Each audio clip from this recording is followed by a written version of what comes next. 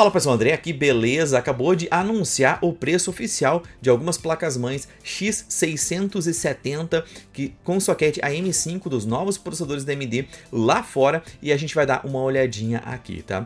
Vale lembrar que essa notícia foi indicada pelo Infortel Gamer Daniel, indicou essa notícia lá no nosso Discord, tem uma aba chamada uh, Sugerir Notícia que você pode entrar lá e sugerir alguma notícia. Olhou alguma notícia aí lá que é legal, que já foi sugerida por alguém?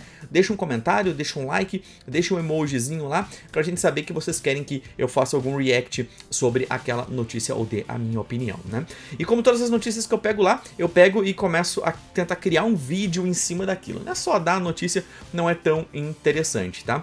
Mas o que eu quero mostrar para vocês aqui, neste exato momento, são as placas-mães que já liberaram o preço, né? Então nós temos placas-mães aqui uh, desde 1.500 dólares até 491 dólares, tá? Esse valor aqui, obviamente, é aquele valor que sempre acontece, né? Uh, onde uh, no lançamento das placas sempre vem somente as placas mais caras. Até fui questionado por uma pessoa no vídeo de ontem falando assim: Mas vocês não falaram que a Intel 12 geração tinha um custo-benefício ruim? Por que vocês estão falando aí? Por que vocês estão vendendo agora na loja de vocês? Não sei se você sabe, quiser comprar um computador gamerchipart.com.br, nós enviamos computadores aí para todo o Brasil, né? E eu falei, cara, por um motivo muito óbvio, né? Assim como no passado a gente também deixou de vender uh, algumas gerações, não apenas da Intel, mas também da AMD, foi porque no preço de lançamento os produtos não eram nada interessantes. Quando eles passaram a ser interessantes, seja por preço ou seja por uh, configurações ali ou, ou, compatibilidade com memória RAM, como foi nos Ryzen, uh, como na linha Ryzen da AMD, que a gente não vendeu por falta de compatibilidade de memória RAM a gente acaba vendendo depois quando o preço melhora, né? E vocês sabem, né? Eu fui uma vítima disso. Eu comprei aqui todos os uh, 1.3, 1.5, 1.7 da 12 geração. É só que faltava minha voz começar a falhar de novo. Vocês sabem, né? Eu fui uma vítima né, disso, né? Eu comprei aqui a, um i7, um i3 e um i5 da 12 geração. Eu comprei uma placa-mãe uh, DDR5, paguei quase 2.500, 2.600 reais por aquela placa-mãe. E agora, todos os preços, tanto dos processadores quanto da placa-mãe, acabou reduzindo. Acabou se tornando um custo-benefício mais interessante, como vocês podem ver nos vídeos de análise de DDR4, análise de DDR5, né? Uh, e também o preço da memória caiu 50%. Mas não é isso que eu quero falar agora, quero mostrar para vocês aqui sobre o preço das placas-mães, tá? Então, se a gente analisar aqui o preço das placas-mães, uh, ninguém aqui precisa ser nenhum gênio né, da matemática para saber que 500 dólares dá um valor bem alto, né? Mesmo se o dólar fosse 5 reais, já daria dois pau e meio só o valor se a gente convertesse diretamente e se fosse 5 reais o dólar está um pouco mais caro que isso, tá? Mas vamos lá, vamos dar uma olhada aqui. Então vai ser somente lançada as placas Ultra top high-end Mega Blaster. E eu fiquei em dúvida, né? Eu falei, cara, o que, que pode ser? O que, que será que significa uma placa mãe de 1.500 dólares, tá? Placas mães já chegaram a esse valor. Eram placas mães ultra high-end com diferenciais que vinham com watercooler e coisas. Oh, obrigado, Pedro Henrique, por ter se inscrito aí no, no, canal enquanto eu estou gravando esse vídeo. Deixa eu desligar isso aqui. Ok, agora eu acho que dá pra desligar. Uh, e eu cliquei e falei, cara, eu vou ter que olhar o que, que uma placa-mãe dessas faz, né? E aí eu entrei no site da ASUS e tem. Essa aqui é a X670E Extreme, que é essa placa-mãe, uh, nada mais, nada menos, que custa 1.500 dólares, tá? Vocês estão vendo uma placa-mãe aqui que vai custar mais de 10 mil reais. Uh, na verdade, pela minha estimativa, ela deve chegar no Brasil entre 12 a 15 mil reais, tá? Essa aqui é uma placa-mãe, então, de 12 a 15 mil reais, tá? Então, uh, o que ela faz, uh, não sabemos, né? O que ela faz, nunca saberemos, né? E aí eu pensei assim, cara, não, não pode ser, não, não, faz muita lógica isso, né? Isso bate de frente com aquela tabela que eu mostrei para vocês, uh, foi ontem, se eu não me engano, essa tabela aqui que vazou ali o preço de um, um, pessoal lá dos Estados Unidos, do Canadá, na verdade, que botaram o preço já dos AMD Ryzen novos, né? Algumas pessoas questionaram que esses preços devem ser mais baixos, e eu torço para que esses preços sejam mais baixos, né? Com certeza, eu não tô torcendo contra contra, galera. Quando eu falo que isso aqui é 300 dólares, eu não fico torcendo para ele ser 300 dólares. Se ele for 200 dólares, vai ser muito melhor.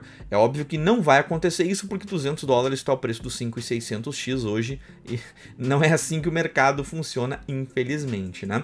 Mas o que não bate na minha cabeça é o quê? Quem vai comprar um processador de 300 dólares para colocar uma placa-mãe de 1.500 dólares? Ao meu ver, uma placa-mãe de 1.500 dólares vai ser para quem vai comprar um desses dois processadores e olha lá, talvez somente o mais high-end ainda no mercado. Então, no lançamento, eu sei que vai ter, vai primeiro vai lançar com as X670, de demora, assim, convenientemente, demora alguns diazinhos para vir ali as, os chipsets 650 depois os 620, tá?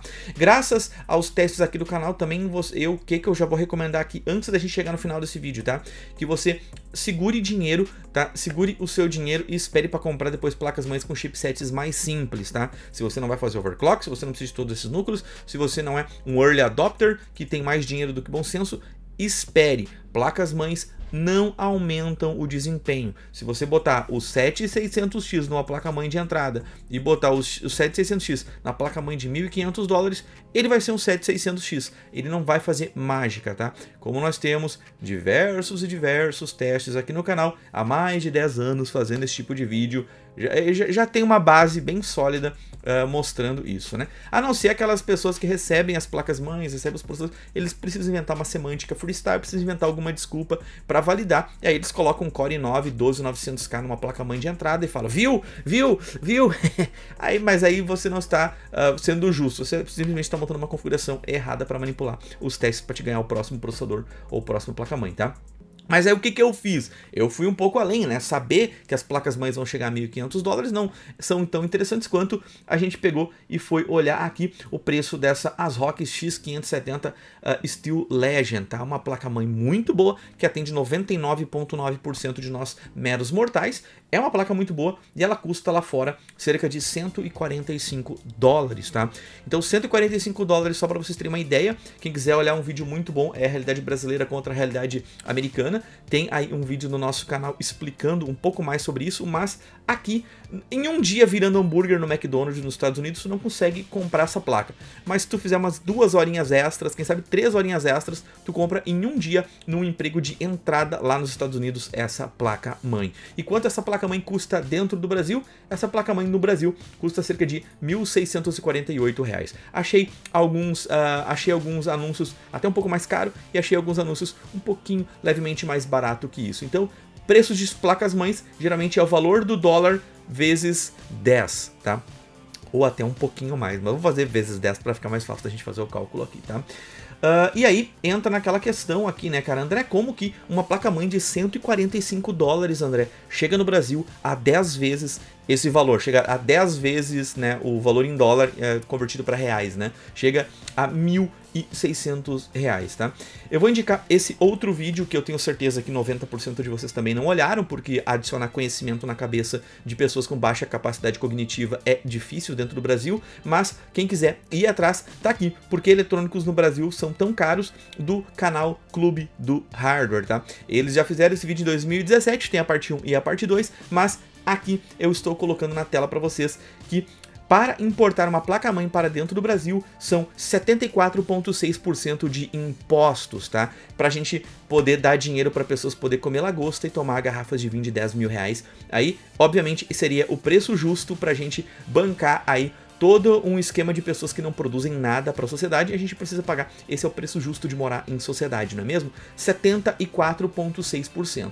Eu até tenho certeza que se esse cálculo for refeito hoje, com certeza essa porcentagem é até maior, tá? E Uh, o que mais que eu quero falar uh, sobre isso, cara? Então vejam esse vídeo aqui para vocês poderem entender como que uma Steel Legend de 145 dólares chega no Brasil a mais de 1.600 e a gente pode estimar então quanto que vai chegar essas placas mães, né? E aquilo que eu já venho falando há muito tempo, que já venho falando já há um meio ano atrás, que eu falei que a AMD vai jogar o custo-benefício pela janela, tá? Ao meu ver, essas placas-mães elas têm lógica existir, sim, para aquele público que tem mais, uh, mais dinheiro do que bom senso, tá? Só que no primeiro momento, ao meu ver, a existência dessas placas-mães, claro que deve ter modelos mais simples, mas essas aqui já foram confirmadas. Sempre chega o chipset mais top primeiro, e depois de algumas semanas, ou até mesmo mais de mês, começa a chegar os chipsets mais simples, tá? Então, no começo, nos primeiros meses de lançamento do Ryzen, dos Ryzen 7000, ao meu ver, vai ser muito caro, uma placa-mãe de 500 dólares, cara, já é uma placa-mãe de 5 mil reais no Brasil, chutando baixo, tá? E isso invalida, ao meu ver, a compra de um Ryzen 7600X, 7700X, entendeu? Somente quem vai comprar os processadores mais top de linha vão comprar uma placa-mãe de 5 mil reais, né, pessoal? Ao meu ver, cara, a AMD tá indo por um caminho aqui uh, bem complicado, tá? A AMD tá indo por um caminho bem complicado, onde o custo-benefício já não é mais a meta deles, tá? E eles já falaram, como eu, eu já repeti antes, que o, quem quiser custo-benefício, quem quiser gastar menos, vai ter que comprar os Ryzen 5000 com DDR4, tá? Mas vai ser uh, meio esquisito vocês verem as pessoas falando: ah, AMD ganhou, agora voltou a coroa para AMD. Mas o meu problema com isso é a que preço, não é mesmo? Eu queria ter uma placa-mãe dessas para testar, eu queria ter os processadores no dia para testar, eu ia botar minha bancada com todos os Ryzen que a gente tem aqui para testar, ver qual foi a evolução deles, botar a conta 12 geração da Intel, mas aqui a coisa vai demorar um pouquinho a mais porque a gente não dança a dancinha dos fabricantes, não dança a dancinha da babação de ovo para receber hardware. Então, vamos esperar. Então, provavelmente vocês vão ver testes sim dos Ryzen 7000 aqui no canal, mas vai uh, demorar um pouquinho, né? E, obviamente, né, com uh, a gente calculando o custo por frame, analisando contra gerações passadas, pouco provável que a gente vai receber esses processadores no lançamento. Vai receber esses processadores no lançamento, aquelas empresas que vão fazer apenas uma gameplay e falar: Uau, nunca vi tantos frames na tela como eu vi agora, ou algo do tipo. Mas não tem problema, nosso trabalho aqui vai continuar com ou sem estes processadores, tá? Muito obrigado a todos vocês que assistiram este vídeo. Eu vou indo nessa, um grande abraço, valeu e tchau, tchau.